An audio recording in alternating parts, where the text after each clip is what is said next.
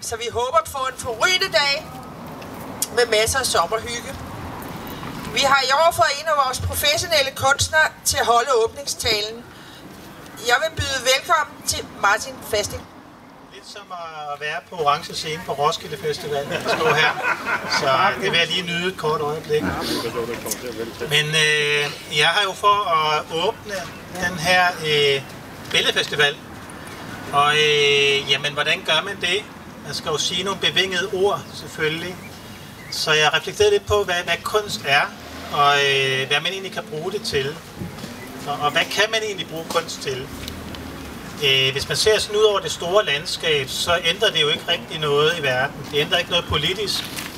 Jeg mener, øh, hvornår har, har kunst virkelig rykket noget op i rodet og gjort en forskel ud i den store politiske verden? Det ændrer heller ikke rigtig noget ved, ved de store øh, øh, problemer med hungersnød og så videre ude i verden. Fordi øh, det sidste, man jo gør, hvis man skal sende ulandshjælp, det er vel at sende billeder. Og så ændrer det jo heller ikke rigtig noget, hvad skal man sige, det fremadrettede, fordi der er kunst for længst blevet overhalet internettet og alle de andre medier, der eksisterer i dag, fotografi og så videre. Så øh, omvendt, så kan man jo sige, at lige præcis de her ting er præcis der, hvor kunst gør en forskel. Hvis man ser på det politisk, så kan man jo alle sammen godt huske, hvordan det var, måske nogle af os kan i hvert fald huske, hvordan det var i Østeuropa i gamle dage. Jeg har selv været i, øh, i Berlin, da den var todels, og der var en enorm forskel på Øst- og Vestberlin. Øh, Vestberlin, der var, var vestlig og kapitalistisk, og øh, på mange måder havde sine problemer, havde jo farverne og livet og mangfoldigheden. Og med det samme, man kom til Øst, så kunne man mærke, hvordan alt var blevet presset væk. Det der med at udtrykke sig, det var på en måde ikke eksisterende i gadebilledet. Så der kan man jo sige, at der har kunst jo på en måde været med til at skabe det udtryk, som øh, verden består af i dag. Og man kan også snakke om, om, om sult, måske ikke den fysiske sult, fordi den er jo alvorlig selvfølgelig. Men man kan snakke om den åndelige sult, der måske også, øh, øh, hvad skal man sige, bliver synliggjort i verden øh, overalt. Hvor, øh, hvor ånd ligesom fordufter for, øh, for materielle goder og for, øh, for tv og for, øh, hvad man kunne kalde dødt liv. Og der vil jeg sige, at kunst og det at udtrykke sig, og det at, øh, at øh, se udstillinger, beskæftige sig med, med noget, der på en måde ikke har noget, hvad skal man sige, samfundsmæssig værdi. Det er lige præcis, at der, hvor, hvor olien og benzinen til et, øh, et godt og velfungerende samfund øh, kommer fra. Og hvad angår, øh, hvad skal man sige, alt det fremadrettede, hvor internettet og fotografiet og øh, 3D dit og 3D dat efterhånden har overtaget, jamen der kan man måske netop sige, at, at den, øh, den sande motor eksistens, den eksisterer ikke ude i, øh, i computerne, ude i alt det, man kan derude. Den eksisterer i, hvad man selv gør, det man får fat på øh, dybt inden for sig selv. Og der er kunst jo en øh, rigtig god generator for det. Så det var lidt om, om hvordan jeg tænker på, på kunst, og hvordan, hvad kunst kan i, i vores dage. Og så synes jeg, det er fantastisk at komme herop og så se, nu har jeg gået et par runder rundt omkring øh, teltlejren her, og det er jo øh, fantastisk at se det udbud af kunst, der er heroppe, øh, hvor forskelligartet det er, og hvor mange forskellige udtryk, der, der, øh, der forefindes her. Jeg forstår, at der er 80 udstillere, og man kan vel ikke finde to øh, udstillere, der matcher hinanden fuldstændig. Altså alle har jo ligesom deres egen ting og fundet noget frem i sig selv, som de så har udtrykt igennem deres billeder. Så det er fantastisk at se. Øhm, til sidst så vil jeg bare lige sige, at det vigtigste med, med kunst, det er et eller andet sted, det er jo, at, at man finder ind til en dybere frihed i sit eget liv. Det er i hvert fald det, jeg igen og igen har oplevet, når jeg har været ude at undervise og været ude og snakke med folk, som laver kunst på forskellige vis. Det er, at man, man finder et frirum, en, en form for anden virkelighed, en frihed, øh, som man måske ikke finder så mange andre steder i sit liv. Så øh, jeg vil bare afslutte den her lille intermistiske tale med at sige, bliv ved med at lave kunst og nyd det. Det er det hele værd. Så det var det.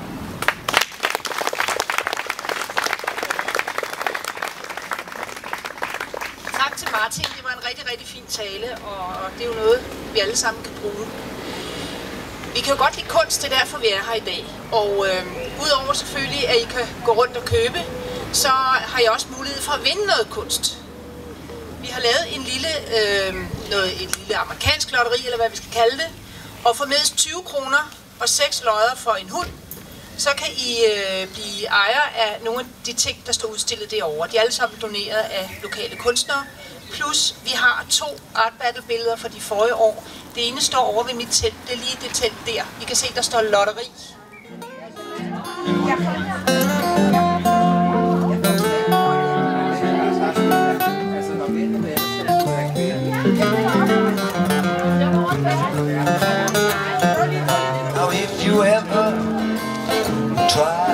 to west. Travel my way, that's the highway, that's the best. Get your kicks on Route 66 Well it winds from Chicago to LA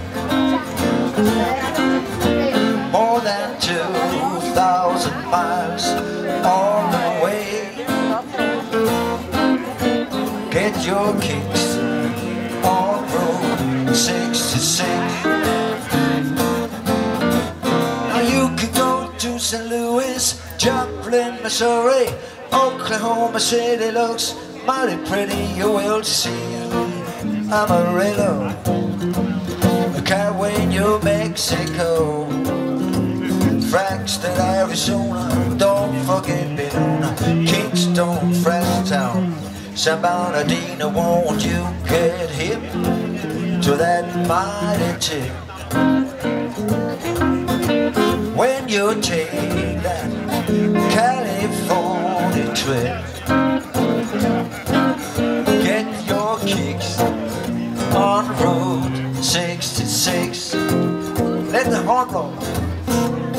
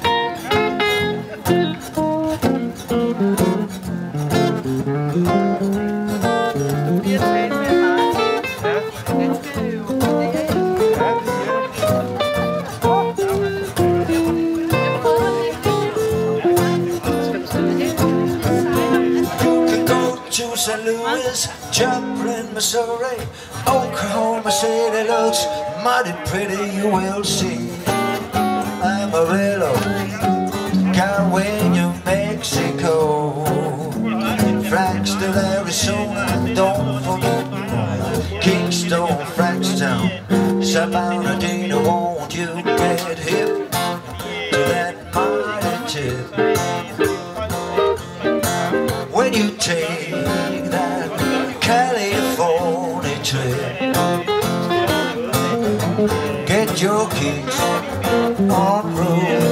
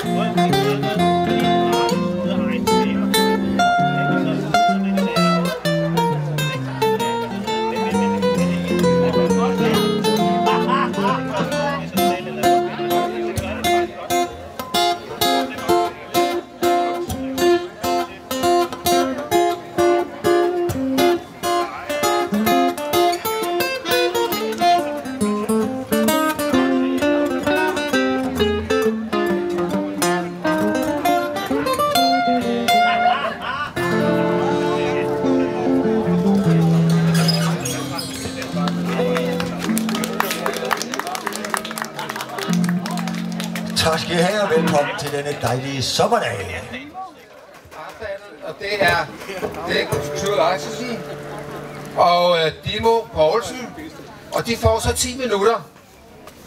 Og, øh, og det skal selvfølgelig være lidt løsluppent, og, øh, og bagefter så, så skal I altså klappe af først den ene og så den anden. Og så har vi Tina, som er... Øh, kom her, Tina. Ja, det er altid rart at have en kvinde i nærheden. Øh, hun, øh, hun er så klappermeter. Hun har sådan et specielt indbygget system, som gør, at hun kan måle decibelene på, hvor meget I Vi hører, om I vil være klar. Vi mangler en sild. Mangler vi en sild? Vi mangler en sild. De skal jo Vi med mangler simpelthen en sild. Det er rigtigt. Altså... Det, Det er sgu ikke mig, skal male i hvert fald. nej, nej, men, men, øh, men vi har... Ja. Just. Altså, hvad siger I så? Det er, det er ikke seks sild, hvor at den ene er lidt mere sild end den anden. Og det er vores super topmodel, som øh, normalt er i alle modebladene, som er taget fri her på grund af det gode vejr og artballen. Så tag også lige godt imod hende.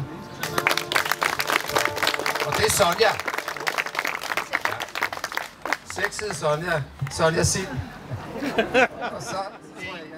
Start. Ja. Okay. Ja, ja. Der er ikke så meget udtryk endnu. Kom så der. Der har vi, vi har gul til venstre, og så har vi noget øh, violet her til højre. Det er skide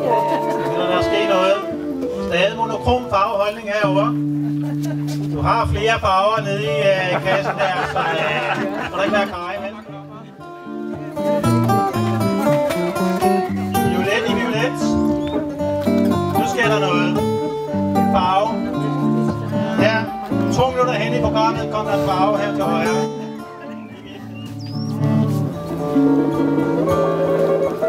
Og herovre til venstre, der kan man jo se, at han har ikke opdaget, hvor kanten af billedet er endnu. Kører rundt i det samme område, ikke? Tre skridt tilbage, så kan man overskue tingene. Det kan være, at det i virkeligheden er det tredje øje, du har gang i der. Lige over de røde læber.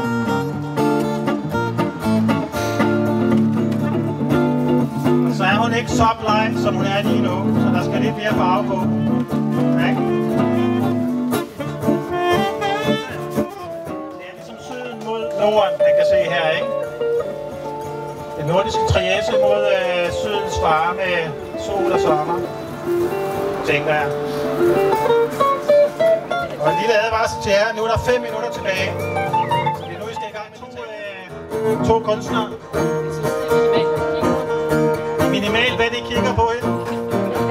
De, øh, de er jo det, som mænd måske oftest øh, har det med, ikke? Også, også øh, er det selvoptaget, den slags der er men er der noget indhold? Jo, det synes jeg nok. Nej. Skal du ikke have en navle?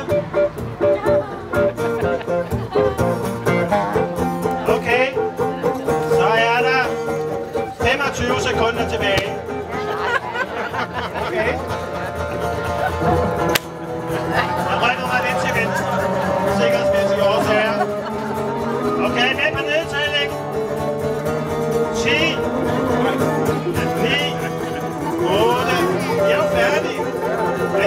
Kamp. Okay, tak for det. Jeg læste for nylig øh, et interview med Basolitz, den store tyske maler. Og han, øh, han lagde meget klart ud med, at, at kvinder ikke kan lave kunst. Det er sådan lidt hvid måde, hvad, hvad kvinder kan præstere. Så det er vi jo spændt på, om vi kan få modbevist nu. De kommende 10 minutter. Hvad siger I? Er I op til det? Ja. Er I op til det? Ja. Tænk på Baselitz. Og tænk bare på, at I skal lave noget god kunst, og I uh, skal starte om 3 sekunder. 3, 2, 1, nu! Jamen, uh, det er jo historien, der repeterer sig selv. En svamp i det ene hjørne, og en, ikke en pensel, men en spritpen her til venstre. Ja, ja. Skal vi jo passe på, at vi ikke øh, ser os blinde i den ene side herovre, men får helheden med. Utrømmeri der. Det er godt. Lad være nu være.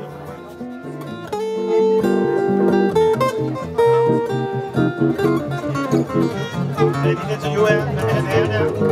Hvordan synes du, det går? What, what do you think? We have an international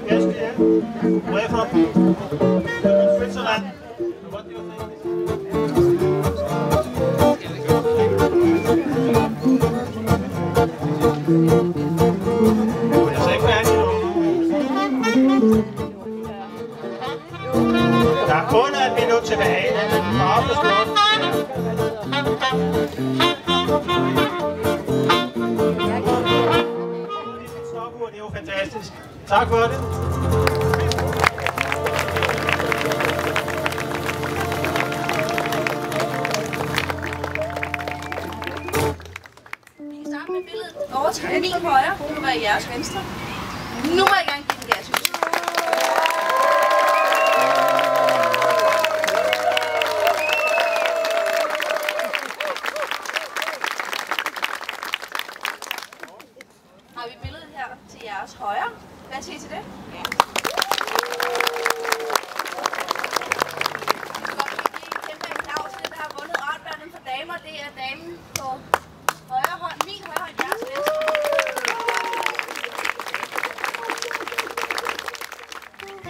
som at, hvad skal man sige, male det hvide hus i regnbuefarver. Men øh, skal vi ikke bare komme i gang? Der er jo nedtælling på, øh, fra 3 til 1, så når jeg ser 1 øh, og nu og sådan noget, så går I bare i gang. 3, 2, 1, så starter vi. For dem, der ikke lige kan huske det, så... Øh,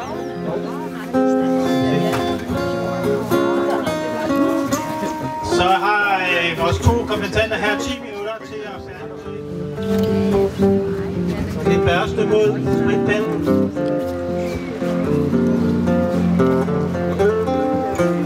Mens vi lige kommer i gang, så laver jeg et lille interview med vores model her. Så hører vi, hvad hun har at sige til begivenhederne.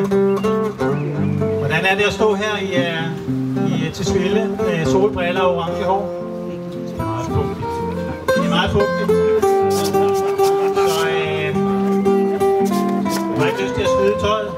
Lidt øh, mere behageligt for dig selv. På grund af varme er ikke mit øh, håndtagsmadsmøde.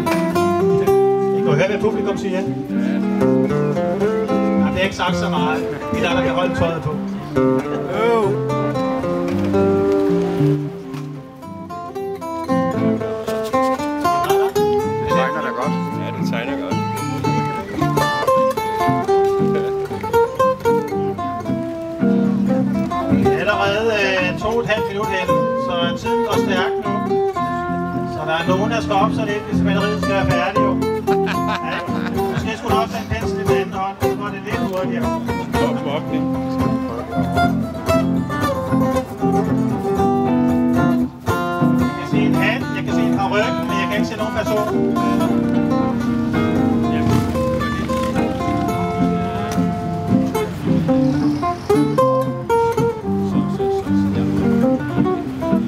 Vil der ske her med et par interviews. Så øh, dig med hatten her, hvad, hvad synes du? Hvordan går det? Har du en favorit?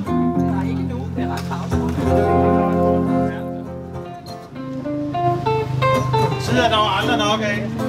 Det er der heller ikke her. Nu er vi oppe på øh, små fire minutter. Så øh, hvis, hvis man skal have alle regnbuefarverne med, så skal man op til at op så lidt.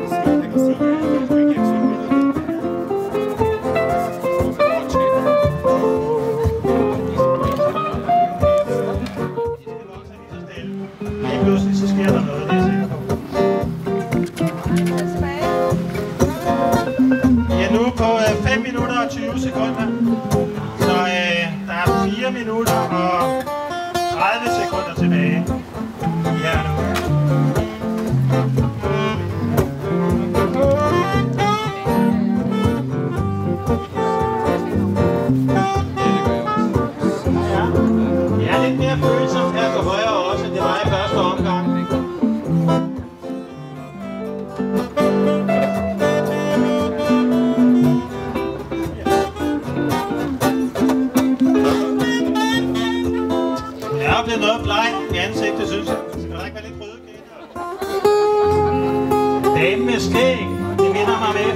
Eller andet melodi fra fri eller andet halvøj herfra.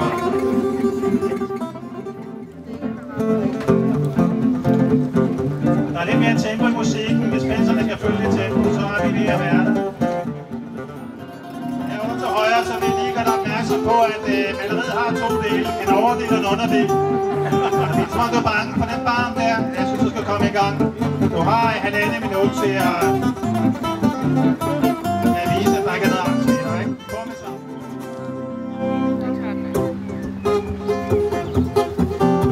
kommentar hernede fra? Jeg havde sådan set forventet, at de begge skulle have stået klare retningslinjer, om det var hele personen, det er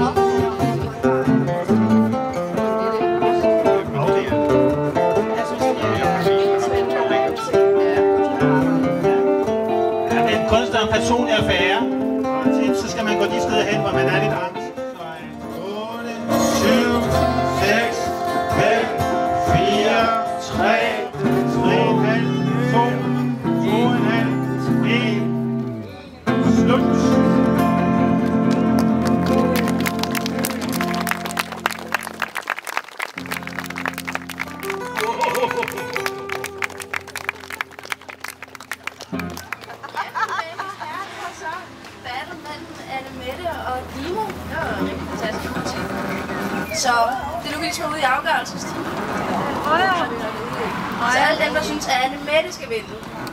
Begynder som tosset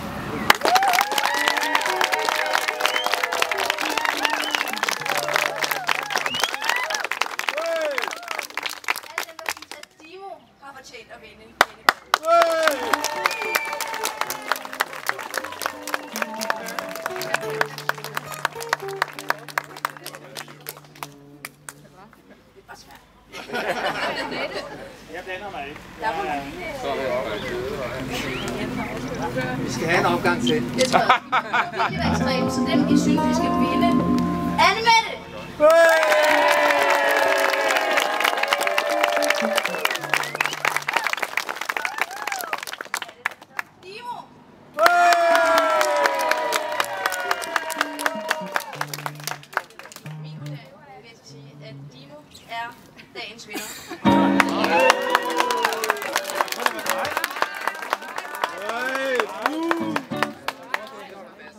Dimo!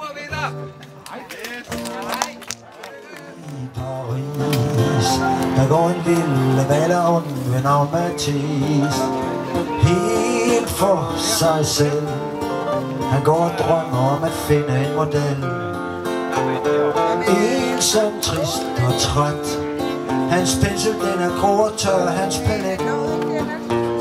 Kære mand må selv Skrive til